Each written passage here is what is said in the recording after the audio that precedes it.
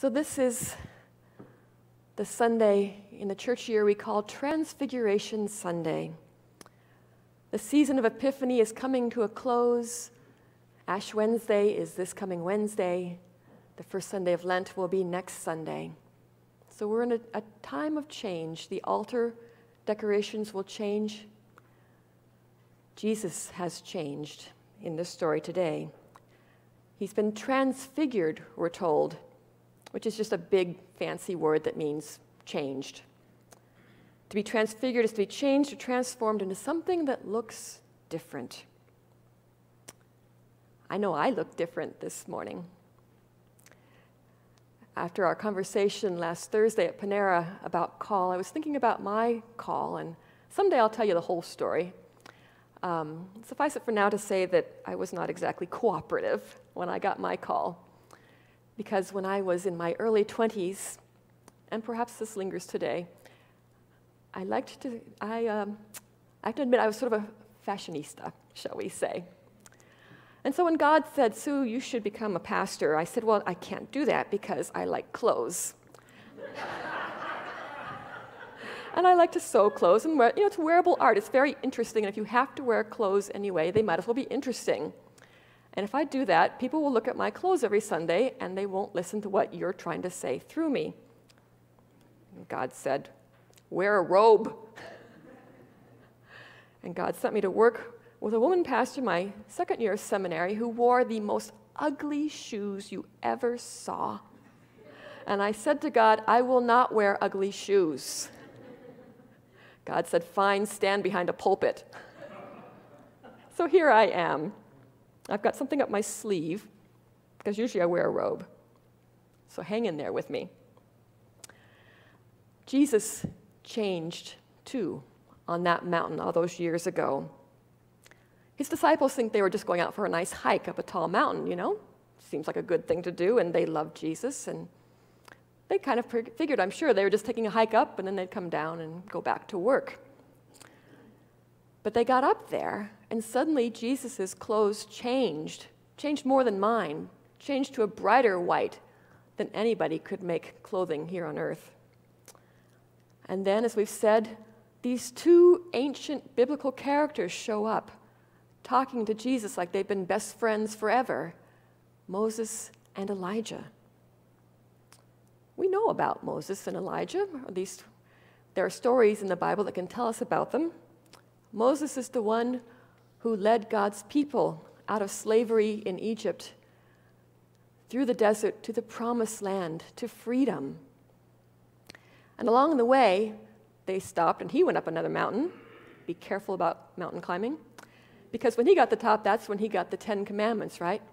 And he came back down, and his face was just glowing so much that people couldn't bear to look at him not because he was out of breath and the exertion was making his face flushed, but because he had seen God or been there in God's presence. Moses was transformed by this experience of God. And Elijah was another prophet we hear about in the Bible who did great things, including at one point, he even, like Moses, divides the waters of the Jordan River so he can pass through unharmed. And then, when he went up in a whirlwind to heaven, he passed on his spirit to one of his followers who carried on with the work.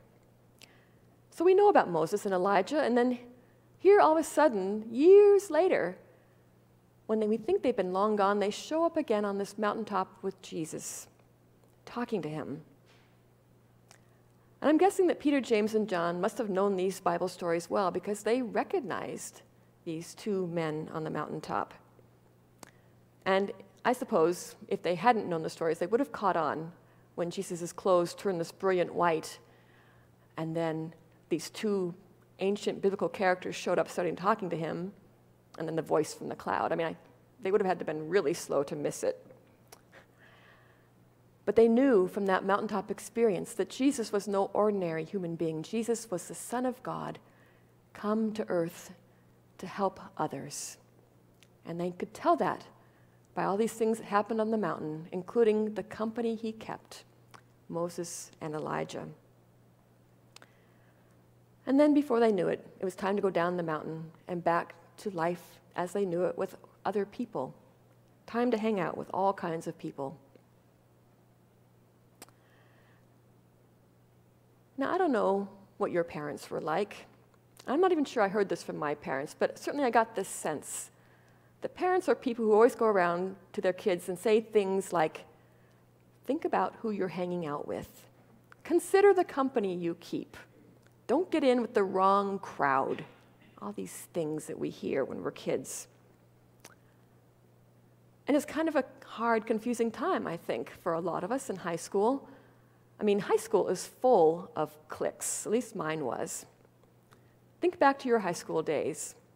Can you think of the different groups in your high school? Can you name any of them? Drama clique.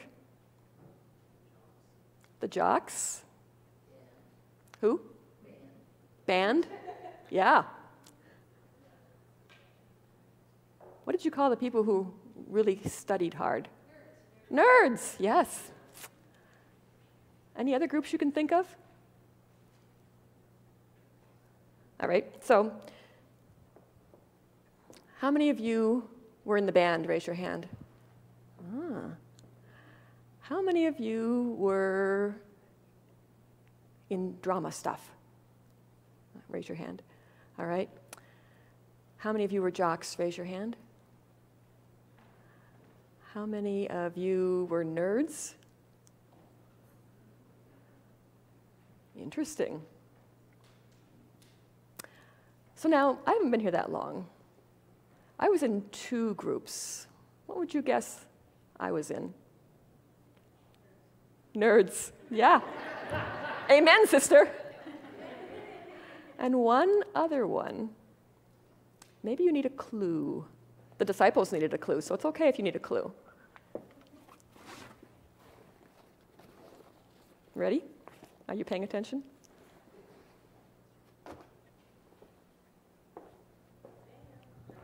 Not the band. The jocks. Can you believe it? Your pastor? I know things change.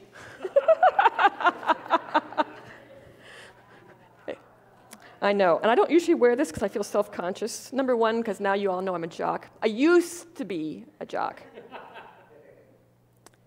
mainly because I loved cross country skiing. But you know what? You can't just ski for a few months of the year and then do nothing and then show up the next season because you get out of shape. So I also did cross country and track. And, and there is one letter in choir, but mainly a jock and a ner- definitely a nerd. And isn't it wonderful that high school is behind us? I don't know why it is in high school that we label ourselves and, and put ourselves in cliques so much. And I don't think I fully understood the repercussions of those cliques. I mean, I, I, was certainly aware of them and aware of which ones I fit into and which ones maybe I didn't. It wasn't until my senior year of high school that one of my friends, one of my nerdy friends who was also in the drama club, said to me, You know, Sue, you're all right. I thought you were just one of those jocks who like to run around in circles around the track. Like, wasn't, well, I was running around circles on the track, but that was to stay in shape for skiing. I mean, how could he not know that? And skiing is wonderful, but that's another topic for another day.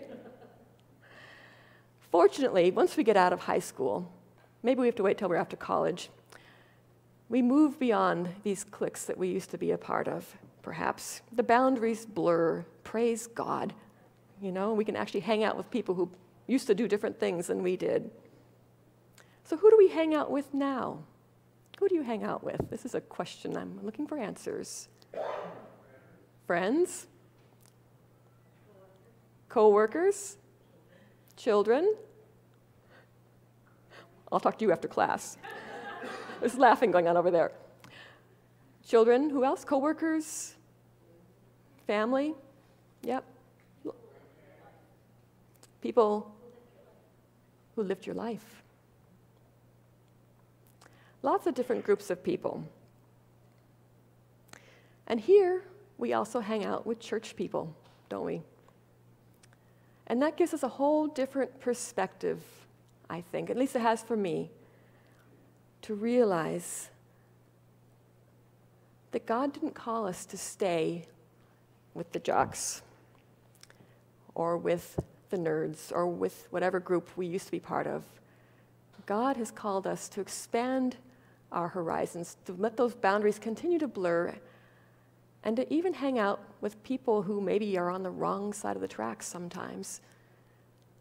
Jesus did. Jesus went and hung out with all kinds of people. And that's one of the ways that we know him, isn't it? We know him by the company he kept. Yes, he hung out with Moses and Elijah, but he also hung out with people that maybe his mother wouldn't have wanted him to. And we know he calls us to do the same thing to be his hands and feet in the world, and to reach out in love, just as Jesus did, to others, all kinds of people.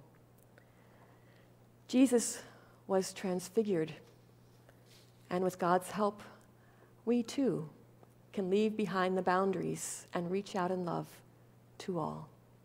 May it be so. Amen.